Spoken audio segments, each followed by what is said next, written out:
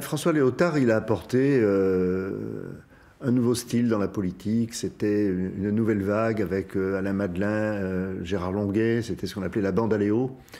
C'était des, élus modernes qui, qui changeaient avec ce qu'on avait connu par le passé. Ils avaient apporté beaucoup. Et François Léotard, qui avait un charisme extraordinaire, à l'époque était un des présidentiables majeurs.